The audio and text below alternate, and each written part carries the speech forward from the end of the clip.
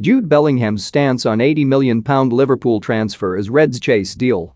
Jude Bellingham has revealed his stance on an £80 million transfer to Liverpool and will excite fans at Anfield. The Englishman's stock has risen immensely over the last year, becoming a regular starter for Borussia Dortmund in his debut season at 17 years old.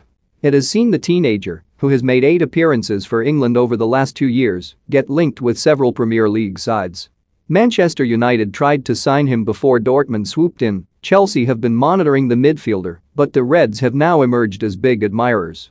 Daily Star Sport understands, though, that Bellingham is not keen to make this happen anytime soon as will not agitate for a return to English football. But he did also drop a hint that Jurgen Klopp's side would be a choice later down the line in his career. The teenager said that he knows his long-term future is in the Premier League and would find the lure of a move to Anfield difficult to resist. Bellingham also alluded to his preference for the Reds in comments given while on international duty. Do you think Jude Bellingham should move to Liverpool? Let us know in the comments section. Speaking to the England YouTube channel in July following the Euro 2020 campaign, the 17-year-old was asked who he would like to swap shirts with. And the midfielder went with Liverpool hero Steven Gerrard, saying, Stevie G, easily to be fair.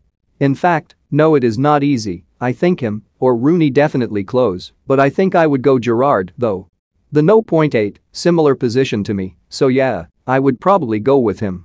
While in May the teenager retweeted a compilation video of the former England international, showing a highlights reel from his sensational career. Bellingham's career started at championship side Birmingham, arriving in 2010 and quickly working his way up the ranks to be playing U23 level at 15 years old. And his break with the senior squad came